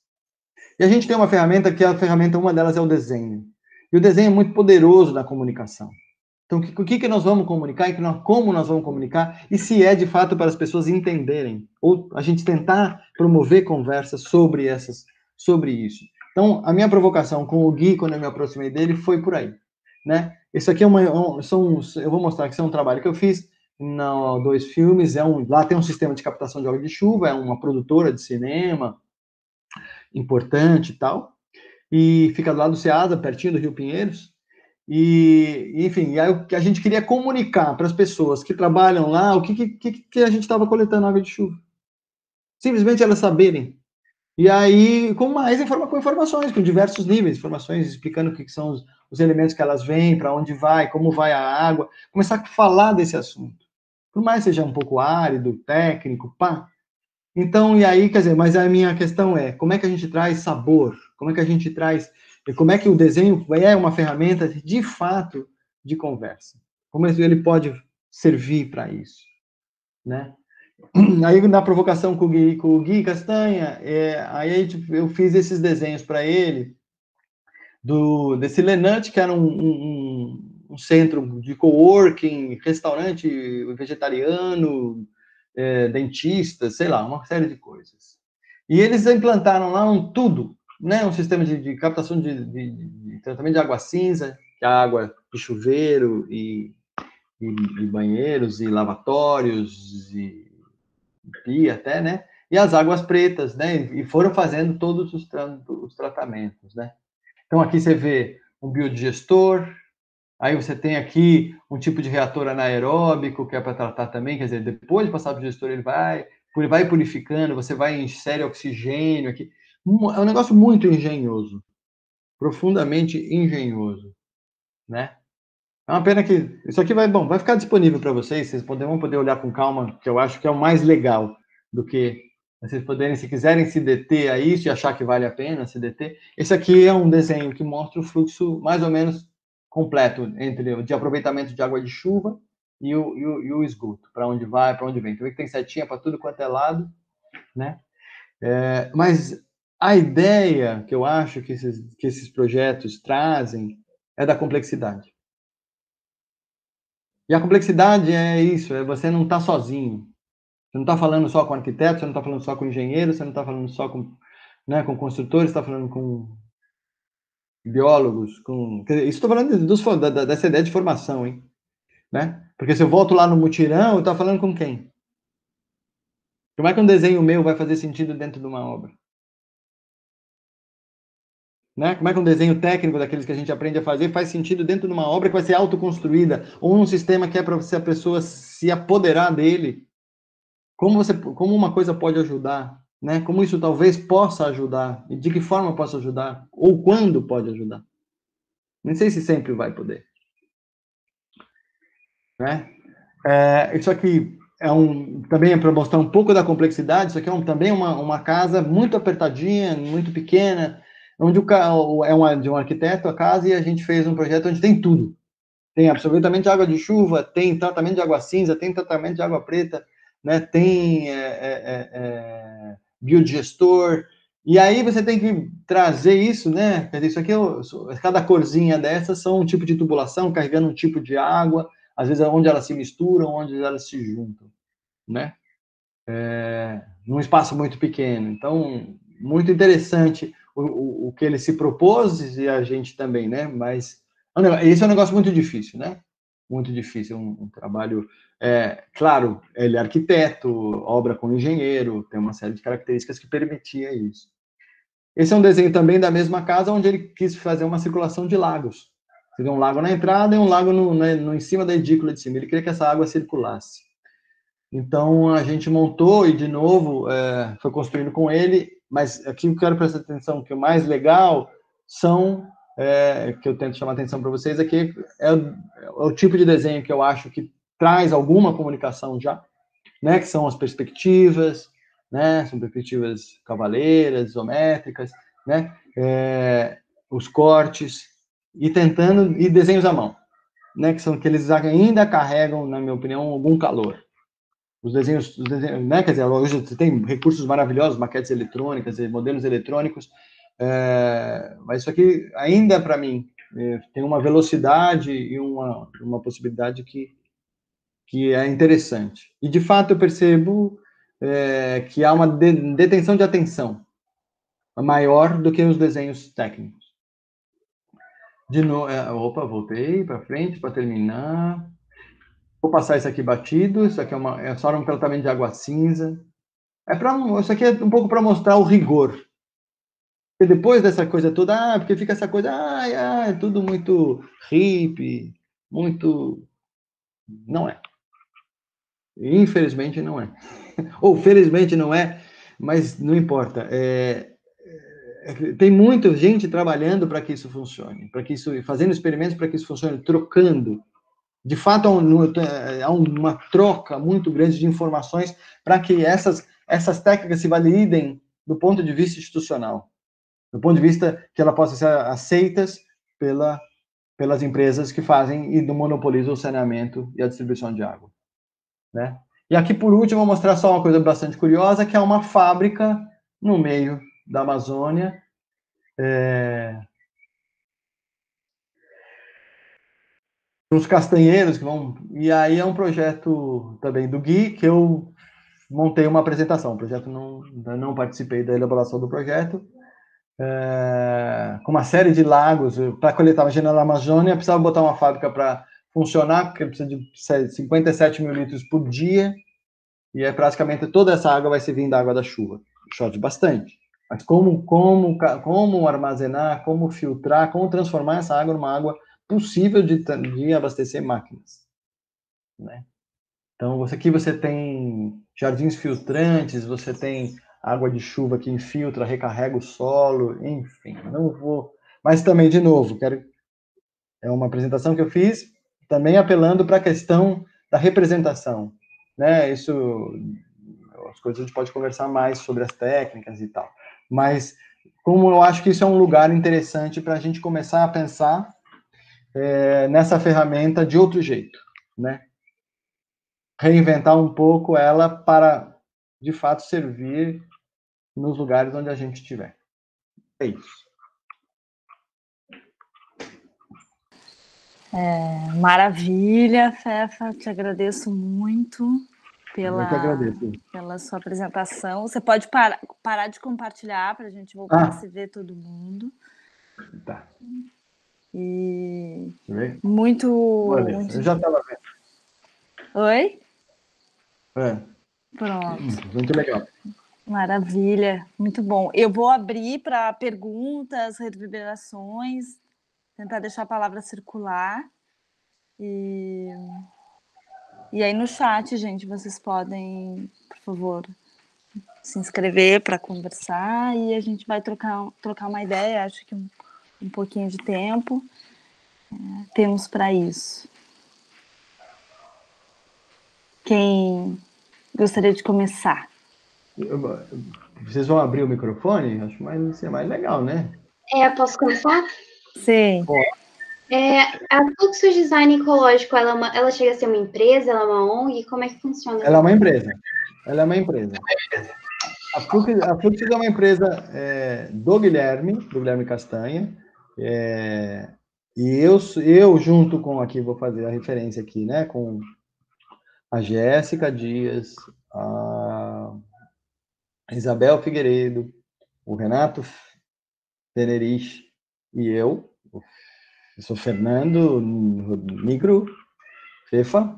É, a gente, a gente somos, somos colaboradores, parceiros, né, nos projetos, né? Mas a, a Fluxus é uma empresa do Guilherme, né? Então a gente é parceiro dele em uma série de projetos, né? A gente foi construindo essa parceria, mas é uma empresa, né? Ela não é uma ONG, ela é uma empresa. Sim. Guilherme, é, gostaria de fazer uma pergunta. É... Oi, Fefa. É, não, a pergunta é sobre, assim, você mostrou vários, vários sistemas, né, e falou um pouco dessa, né, desse solo também no início dos rios, né, que é, que ocupam praticamente toda a superfície que a gente habita, né, assim, então quase que elimina um pouco essa noção de rio, né, e a gente começa a falar de uma superfície de água que está que está por toda parte, né? Água e solo. Os, os, indianos trabalham muito essa, os indianos do sul trabalham muito essa questão do, né, do, do conceito que não é um conceito de rio, mas é um conceito de, de, de planeta água, né? De, de, de água. E, uh, e, e, também os sistemas que você apresentou mais para o final me, me assim, é, para mim parecem convergir com uma ideia é, que eu venho assim explorando ela um pouco na, nas discussões em termos de pesquisa, de planejamento, né, que é que é uma ideia que consiste assim que que, que traz um pouco à tona essa essa discussão da descentralização é, desses dispositivos, né? Quando a gente fala de tratamento de esgoto e de abastecimento de água, né, a gente é, muitas vezes está falando ainda de um paradigma é, muito centralizado, né, onde tem grandes estações de tratamento é, de água para abastecimento, e depois tudo isso é centralizado novamente nas ETEs, que custam caro, né, e que são pouco, dão pouca visibilidade em termos de voto, etc. É, então, eu queria um pouco a sua, assim, escutar você sobre essa ideia da descentralização. É, acho que ela está um pouco subjacente aí na sua fala. Sim. É, eu, assim, eu tenho, tenho, tenho essa, tem duas coisas, né? Uma é, a, de verdade, a, a realidade implacável que a gente vive. Nós não temos saneamento, né? E temos um, um, um abastecimento também bastante, é, vamos dizer, ruim. Até, não, não vou dizer até, podemos até olhar em termos de qualidade de água. Embora você ofereça água a água chegue em, em muitos lugares, é, a questão do saneamento ela, ela é mais grave. E, e ela está muito claro, como você mesmo disse, quer dizer, esses sistemas, eles são muito caros. Você tem que criar redes imensas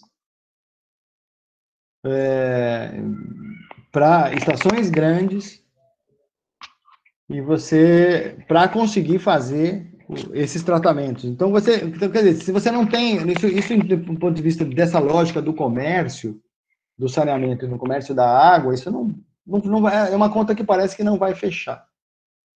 Então também não se faz. Então me parece assim uma coisa completamente eh, sem volta ou, ou, ou que não vai não vai ter jeito. A gente vai ter que partir para soluções alternativas. E elas vão aparecer, e elas estão aparecendo, e elas estão acontecendo. A questão é, é o tempo que isso demora. E, é, e como essa contaminação vai ser. Né? Porque é, é óbvio que uma hora vai. É, vão ter empresas fazendo, já tem, né? Por exemplo, biodigestores, já tem empresas como Aqualimp fazendo, já tem empresas de todos os graus, até de projetos, de, né, usando jardim filtrantes, né, empresas grandes, internacionais, já estão no Brasil, para tratamento de água, da água fabril, com esses jardins de planta. É, mas a questão ainda é, essa, eu acho que é um pouco essa questão da demora, assim, nessa mentalidade, ou, ou como é que a gente vai, como é que a gente encara, porque são sistemas vivos, a gente não, não, não consegue conceber isso ainda, na minha opinião. Você não consegue, é, é, é, claro, você pode entender, eu posso entender, todo mundo aqui pode entender, mas como é que você sai de uma lógica e migra para outra? Como é que uma pessoa vai, ao ter um biodigestor em casa, e é muito interessante, o Grajaú teve uma iniciativa é, lá de colocar biodigestores. Eu achei que estava na apresentação, se não me engano, ou eu passei muito rápido e não vi, é, Instituto Anchieta. Eles fizeram uma série de biodigestores. O biodigestor você tem que cuidar. Ele, ele, porque é muito. Quando você pega para quem o cara vai economizar duas horas de gás. Isso é muito sério.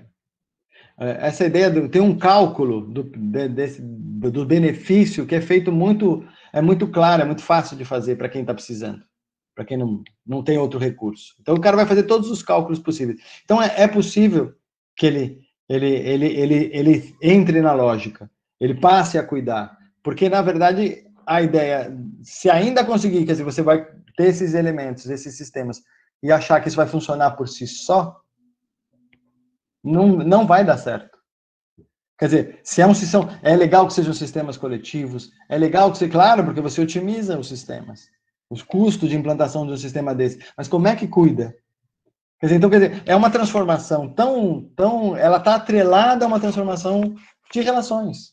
Ela pode ser motor da transformação das relações, eu acho que ela é um, um motorzinho, mas ela não é suficiente. É como as pessoas, como a gente vai se relacionar. A gente tem que deixar de, de se interessar por se relacionar por, com, com, essas formas centralizadas. A gente tem que entender que, a, que as transformações é, elas vão acontecer nesse em outro nível. E, e, e o que, que vai, eu acho que vai acontecer? O Estado ele vai conseguir descentralizar tanto o abastecimento quanto o saneamento. Ele vai, ele vai, ele vai ele vai nessa direção, porque não tem mais não tem como segurar. Agora, está segurando e vai continuar segurando. Só que não é, é isso, como nós vamos ficar nesse jogo e é, é aqui, né? Na, no campo social mesmo, nas relações das pessoas, é que a coisa vai se transformar, eu acho. Mas nós precisamos experimentar, precisamos implantar, precisamos fazer, e é contaminação, é uma contaminação viral. Viral igual essa que a gente está passando, mas num sentido, acho que bastante diferente.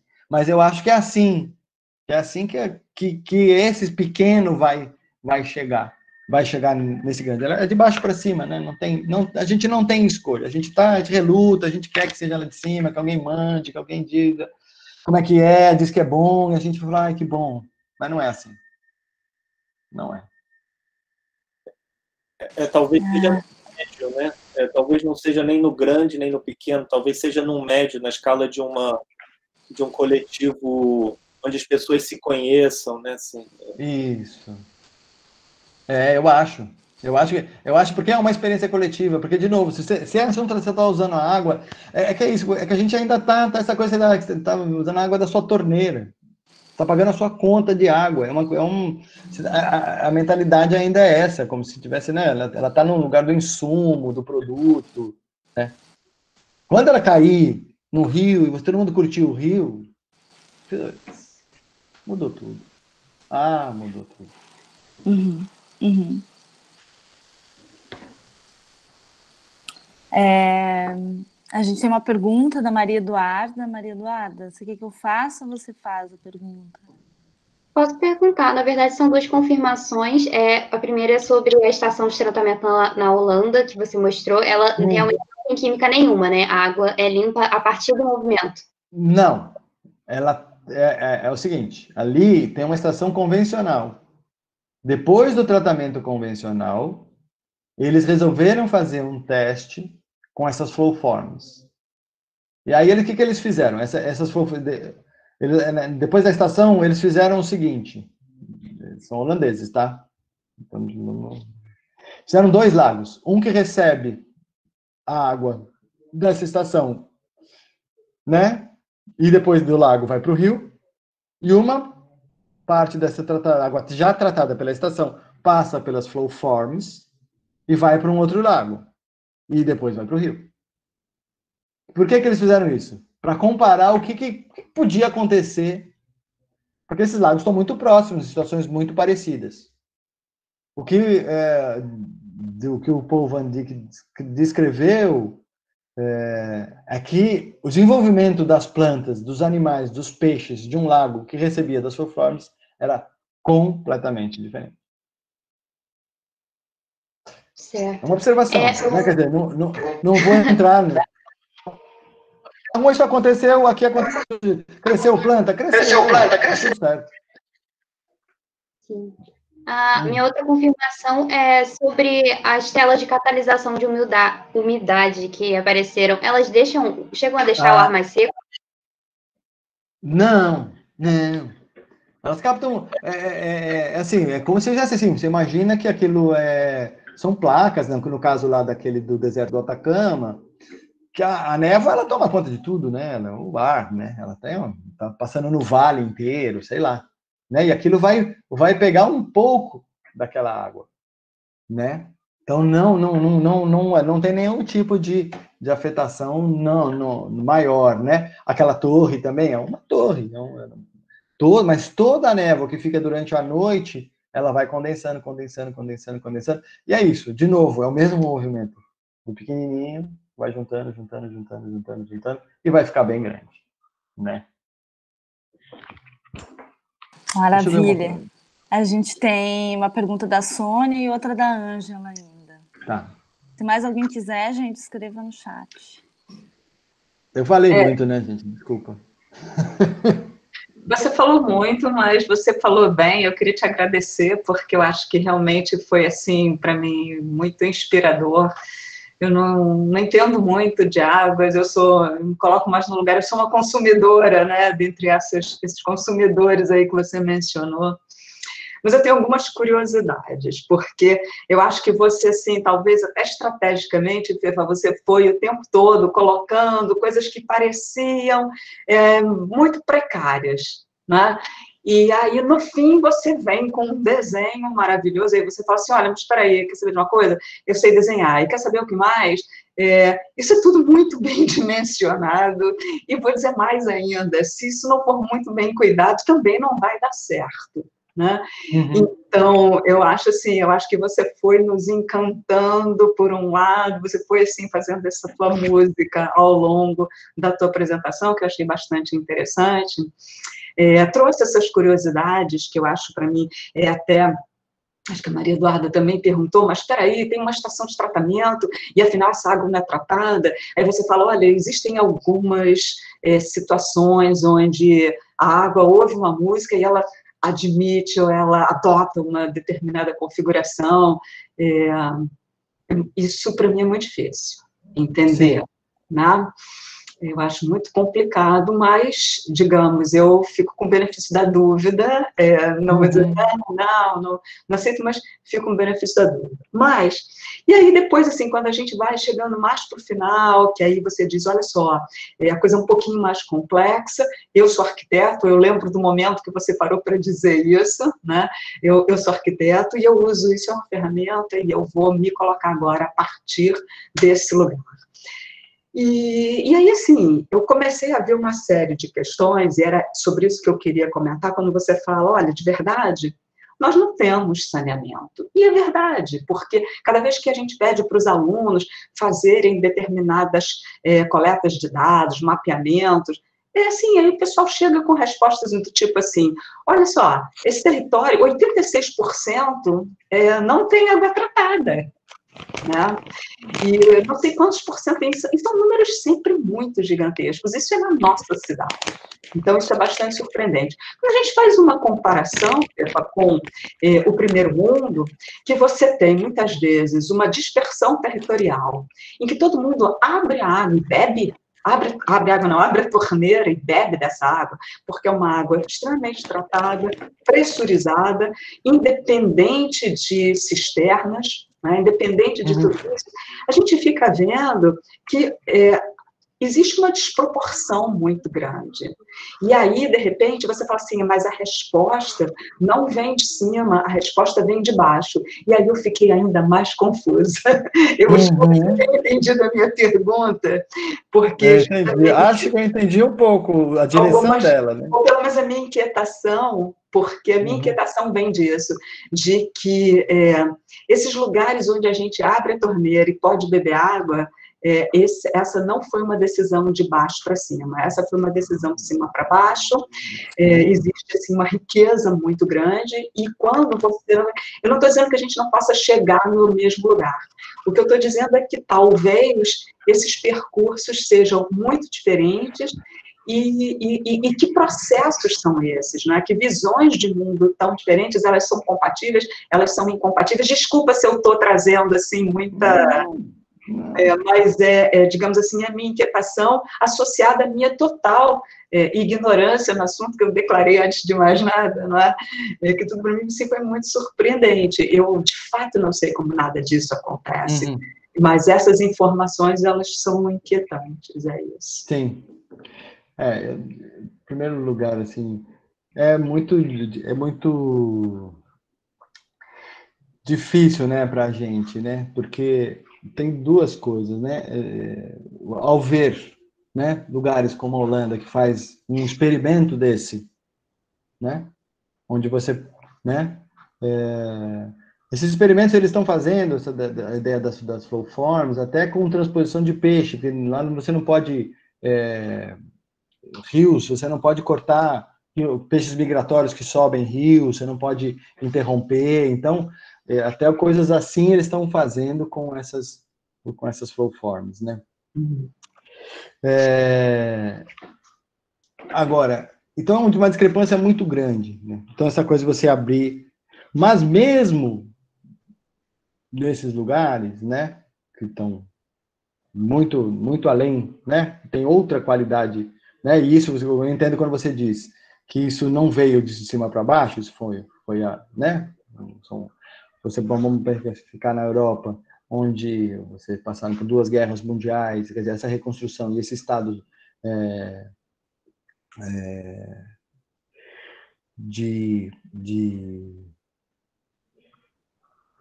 como é que chama isso? Meu não fugiu a palavra. O, o bem-estar social, uhum. ele foi construído pelas pessoas. Sim, sim, foi, né?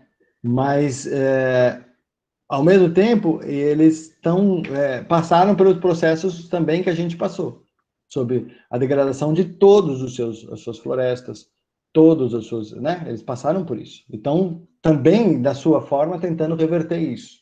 Uhum. E, e, utilizando também dessa, desses elementos, olhando fluxos e, e processos naturais entendendo que é, que é mais por aí, que é mais fácil, mais, é, mais fácil no ponto de vista energético, é mais fácil, é, mais interessante do ponto de vista social, porque, de fato, quer dizer, a atomização social, que também acontece lá, e, o, e, a, vamos dizer assim, até esse retrocesso, em, em certos sentidos, né, é, como a gente vê aqui em vários lugares do mundo, né, do ponto de vista político, que estão acontecendo em todos os lugares, também estão trazendo é, tensões em relação a isso, né? A permanência, quer dizer, o custo disso, desse bem-estar, é muito alto. Energético é muito alto. E ele, às vezes, está fundado, a gente sabe muito bem, não só nas suas próprias riquezas, mas sim na, na, na, na, na maneira como essas relações internacionais se dão e como os, os países se, né, os Estados-nações se comportam, né? Então, quer dizer, está uma defesa do si mesmo. E a gente está entendendo que não é mais isso. Essa, essa é uma outra. Quer dizer, não, não, não há mais essa separação é, de, de lugares. É, as experiências estão sendo compartilhadas assim por todos os lugares, né? Então, tanto as experiências é, de, de Estado, né, centralizadas e tal, que oferecem um bom serviço, mas para isso você tem que ter uma outra, uma outra sociedade uma, que, que, nós não, certamente não passaremos, ah, eu, na minha opinião, né? Nós não vamos passar por ela, nós vamos ter que fazer um, o nosso caminho é outro. E é, a olhar as situações, da, né, e quando eu tive, né, na Piabiru, né, nas organizações de favela e tal, não vai chegar. Não vai dar certo, porque uma estação de tratamento hoje em São Paulo que seja feita, ela será obsoleta assim que ela inaugurar. Ela estará completamente saturada. Uhum. Então, quer dizer, não faz nenhum sentido você pensar nisso. E se você não pode pensar, como é que você pensa no, no, no Estado, que tem que gerenciar dois contratos, com, né? Ele escolhe um contrato. Geralmente você tem um, uma, um, um, uma cara que vai pegar o lixo, ou um pool de empresas que vai fazer o transporte público. Quer dizer, ele consegue gerenciar um contrato. Você imagina, você voltando à, questão do Guilherme um pouco, você imagina descentralização, o que, que significa? Significa uma outra organização do próprio Estado. Eu acho, quer dizer, você tem que ter a gente tem, e é, essa, e essa confusão que a gente vai viver durante bastante tempo. Eu acho que eu não vou ver isso solucionado. Mas, ao mesmo tempo, quer dizer, é, a, a sensação que eu tenho é que essas experiências e o saneamento como saúde, como aglutinador de pessoas, ela é de fato um passo fundamental para que haja essa transformação no Estado. Quer dizer, seja, não sei exatamente qual é o mecanismo que isso vai acontecer, porque não dá para não, não, acho que não dá para saber. Mas é, eu acho que é, é, é, é, um momento de uma contaminação extrema. A gente a gente ferveu muito em 2013, 2012, 2014 e a, e a resposta foi muito violenta. Sobre essas, o que estava acontecendo em São Paulo, em termos de plantação de, de árvores, de, de, de, de ciclovia, pedais verdes, é, é, iniciativas de todos os tipos, colaborativas. Nossa Senhora, você, você ficava impressionado. Você não, você não saía na rua, a cidade era, era uma, tava uma coisa muito impressionante. Ocupação de espaços públicos. Quer dizer, é, essa ideia, a gente estava ganhando, a sensação que estava ganhando uma noção pública uhum. que a gente não tem. Uhum.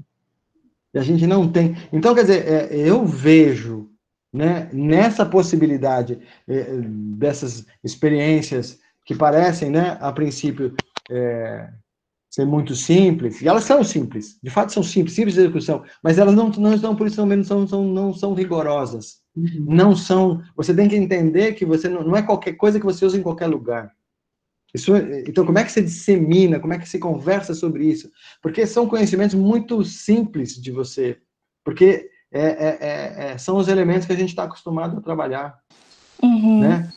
Então, quer dizer, e aí fica, fica esse, esse jogo. Mas, é, eu não sei, eu, não sei, eu sou são questões.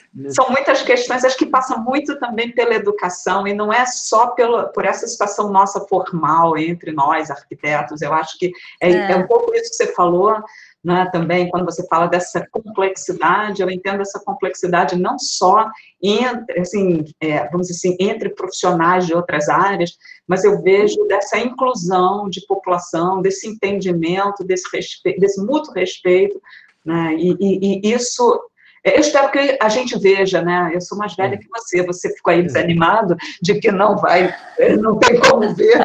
É, eu só não gostei dessa parte, o resto é, é Ângela também queria fazer uma pergunta. Oi, é, Oi, eu queria fazer uma pergunta no sentido. Eu também me lembrei muito da parte que você falou, eu sou arquiteto. E eu vejo que falta muito isso dentro da arquitetura, tanto dentro da educação dos arquitetos. A gente só tem nossa primeira matéria de saneamento no quarto período e depois no oitavo. É um. Falta isso dentro da arquitetura. Eu não sei como era na sua época, mas eu imagino que talvez pior ainda, ou melhor, não sei. Mas eu comecei a entrar nesse mundo também de saneamento ecológico agora. E tem pouco, né? É, eu, eu, sinto falta da arquitetura dentro desse, desse meio e eu queria saber. Eu, os meus chefes são engenheiros ambientais, uhum. eu sou a única arquiteta dentro desse meio e, e a gente tem uma troca muito grande, tanto porque nós, como arquitetos, né, estudamos de, o desenho, o nosso desenho é muito expressivo para certas coisas e que a engenharia talvez não tenha.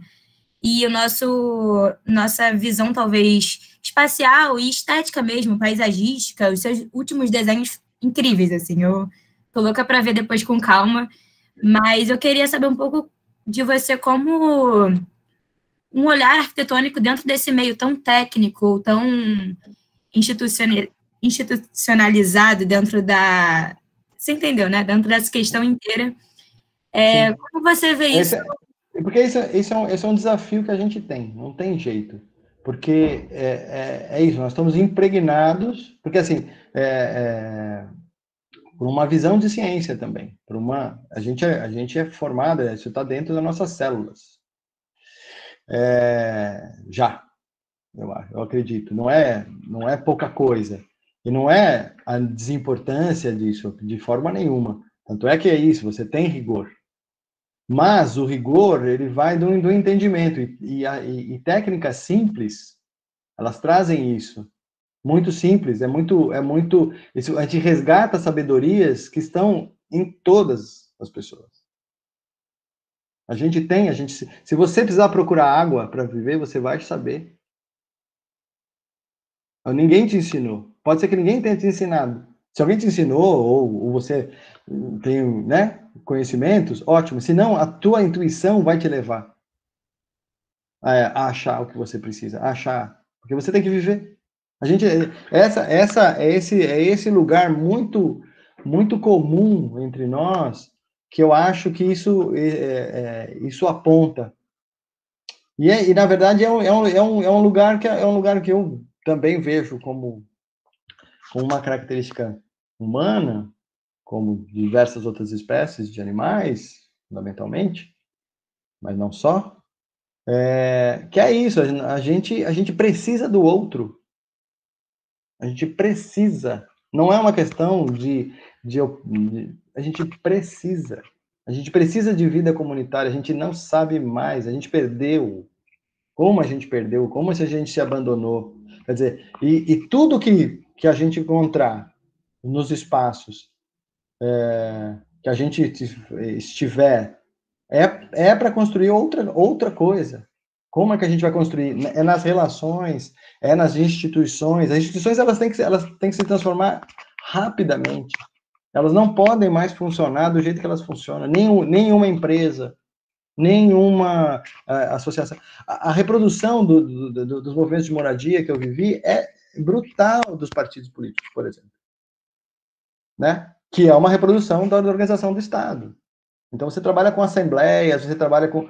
A, a voz das pessoas não existe. Não existe, não existe a criatividade. A criatividade só existe em lugares de liberdade. Criar espaços de liberdade. É, disso, é essa tensão, é essa tensão, quer dizer, então, quer dizer, a possibilidade é, é, é, é, fundamental que isso se desenvolva, as técnicas se desenvolvam, e tudo isso se desenvolva e seja implantado. Aí no Rio tem o, tem o pessoal da, da Boa Engenharia, que é incrível. Gente, vou pegar, peraí, vou botar a bateria aqui no, no, no computador, senão vai, vai dar chabu.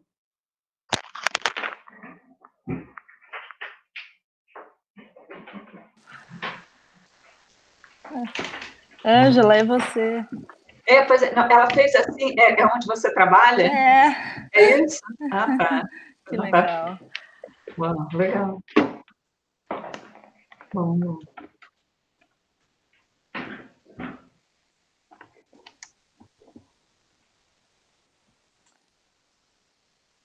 Então, Fefa, ela trabalha lá.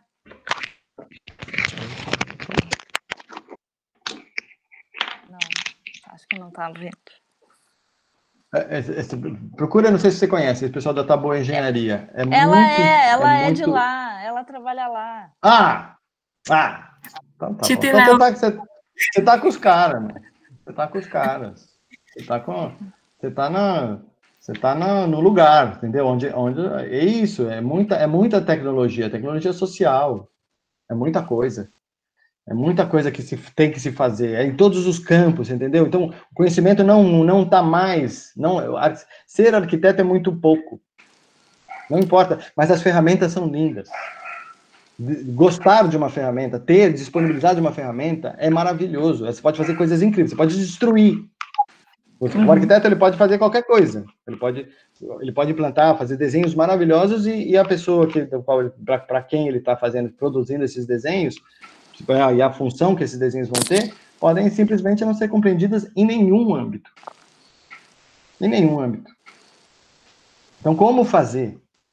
Como fazer? Quer dizer, é, é claro, a gente tem, eu, assim, é, gosto dela, gosto dessas ferramentas. Então, como é que eu vou usar elas? Né? E hoje não me importa mais exatamente, é, é, exatamente se eu né, ser arquiteto é um, foi uma coisa que aconteceu.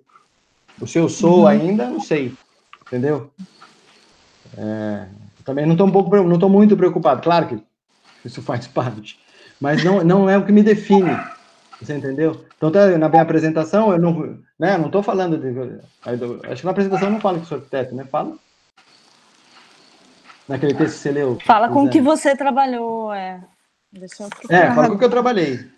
É, porque não, é, a gente se apresenta mas com um fica, fica evidente, né? Porque reformas, uhum. executando obras. Bom, é. Uhum. Poderia, poderia ser engenheiro, talvez, assim, né? No, no senso comum. Mas Sim. eu queria, queria ir nos encaminhando um pouco para o final, uhum. né? Desse nosso encontro e dizer um pouquinho que eu acho que quando você traz essa ideia de que é preciso cuidado, né? Eu acho que ali está uma um pulo do gato. É preciso cuidado, é preciso mudar a maneira com que nós nos relacionamos, não só entre humanos, mas entre espécies também, né? Que eu acho que é, é, é disso que você abre, quando você abre falando, você abre falando isso. Assim. A água é um ser vivo, a água é uma, é uma entidade, a água é algo que a gente precisa para sobreviver, é, mas não só nesse sentido mais operacional do corpo, corpo-máquina, mas também existencialmente, né? Quando eu, eu preciso me acalmar, eu vou perto de uma água, né? e, e dessa capacidade de regeneração é, que, que também a água não faz sozinha, ela faz com as plantas. Então, desse, dessa compreensão de que as coisas todas estão interligadas e vivas, né? Me parece que é Sim. Como fazer arquitetura a partir de uma ideia como essa.